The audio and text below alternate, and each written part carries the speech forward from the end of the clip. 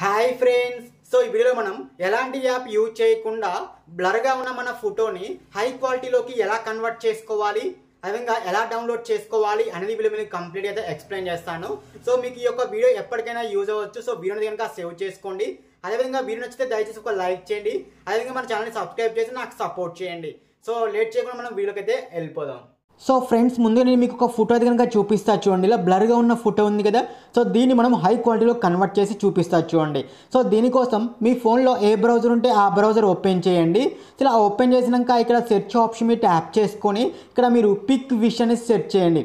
పిఐసికే double I S H pic wish search చేయగానే ఇక్కడ మనకు ఫోటో ఇన్హాన్సర్ అని ఒక ఆప్షన్ ఇది కనుక వచ్చింది కదా. సో ఆ ఫోటో ఇన్హాన్సర్ అనే ఆప్షన్ మీద ట్యాప్ చేసుకొని ఇక్కడ అప్లోడ్ ఇమేజ్ అనేసి ఉంది కదా.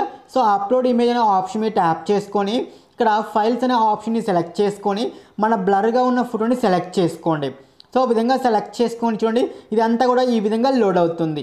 సో ఆ విధంగా లోడ్ అయిపోయిన తర్వాతకి చూడండి మనకు ఆటోమేటిక్గా మన బ్లర్గా ఉన్న ఫోటో కాస్త చూడండి ఇలా హై క్వాలిటీలోకి అయితే కనుక కన్వర్ట్ అయిపోయింది చూడండి.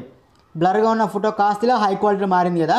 సో ఇక్కడ డౌన్లోడ్ అనే ఆప్షన్ మీద ట్యాప్ చేసుకొని ఇక్కడ ఇమేజ్ మీద ఇలా హోల్డ్ చేసుకొని పట్టుకొని ఇక్కడ డౌన్లోడ్ ఇమేజ్ మీద ట్యాప్ చేసుకొని చూడండి మనకు ఇమేజ్ కనుక ఈ విధంగా డౌన్లోడ్ అవుతుంది.